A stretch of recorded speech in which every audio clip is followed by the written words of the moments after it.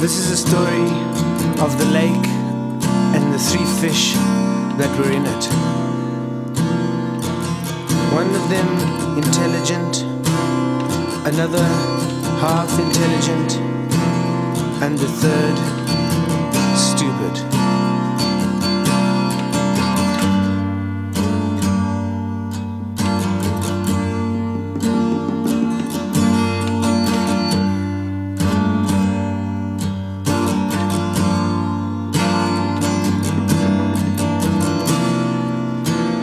Fishermen came to the edge of the lake with nets, and the three fish saw them.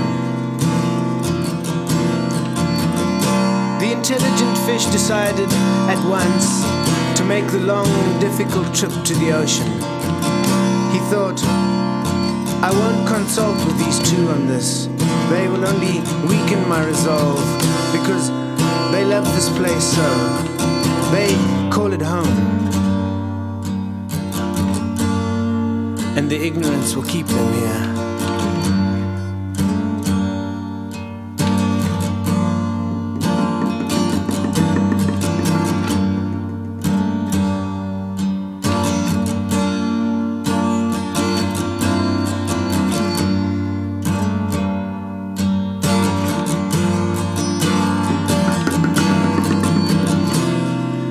And so the intelligent fish made its whole length a moving footprint. Like a deer, the dog's chase suffered greatly on its way. But finally made it to the edgeless safety of the sea.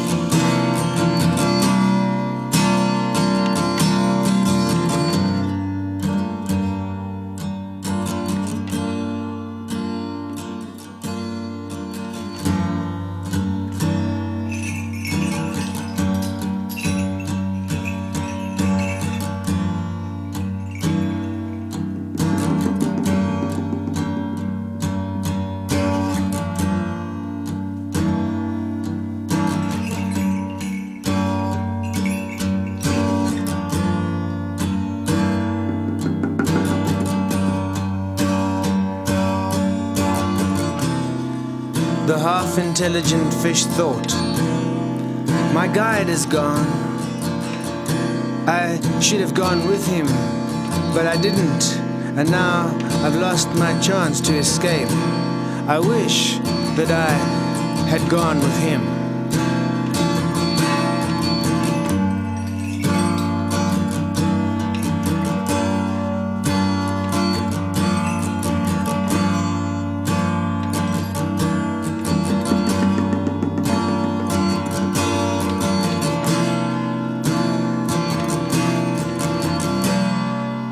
So the half intelligent fish mourned the absence of his guide for a while, and then thought to himself, What can I do to save myself from these men and their nets? Perhaps if I pretend to be dead, I'll belly up on the surface and float like a weed floats, just giving myself totally to the water, to die before I die. So he did that.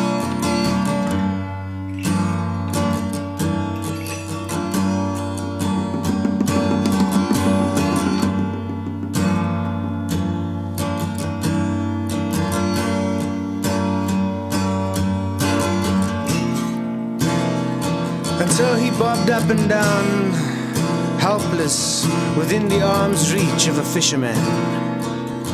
Look at this! The biggest fish of all is dead. One of the men lifted him up by the tail, spat on him, and threw him on the ground. He rolled over and over and slid secretly near the water, and then back in.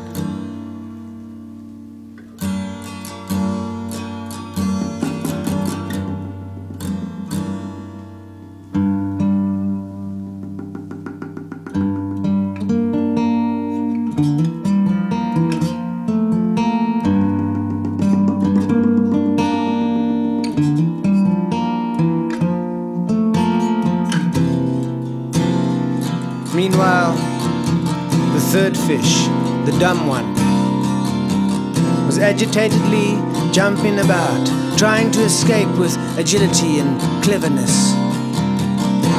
The net, of course, finally closed around him.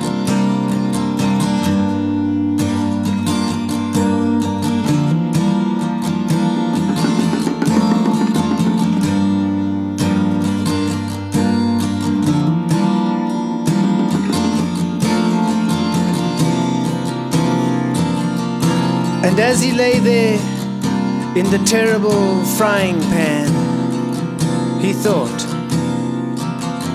I'll get out of this. I'll never live again in the limits of a lake. Next time, next time the ocean, I'll make the infinite ocean my home. The infinite my home.